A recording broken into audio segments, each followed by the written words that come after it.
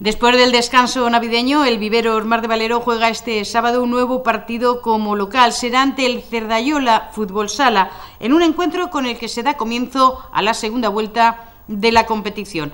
Los amarillos han entrenado duro durante todas estas semanas de parón y se encuentran mentalizados y preparados para conseguir sumar tres puntos en un encuentro importante en la lucha por la salvación.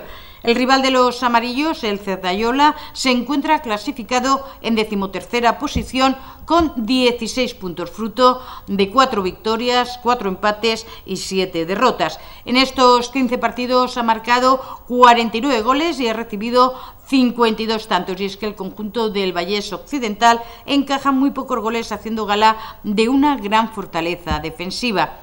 A domicilio ha disputado ocho encuentros saldados con dos victorias ante Natación Sabadell y Hospitalet, dos empates en Terrassa y Manresa y cuatro derrotas frente al Castelldefels, Lleida, Salou y Barceloneta. Victorias de prestigio y derrotas muy ajustadas que demuestran que los catalanes son siempre un equipo metido en el partido y que disputa sus encuentros hasta el pitido final. En cuanto al encuentro que abría la temporada, el Vivero Mar de Valero sacó un buen punto de su visita a tierras barcelonesas. En la primera mitad los locales fueron superiores a los chicos de Ricardo Íñiguez. El Cerdayola estuvo más cómodo en pista y consiguió adelantarse por 2-0, pero un tanto de Luis sobre la bocina recortó distancias para el Viveros y dejó todo abierto para la segunda mitad.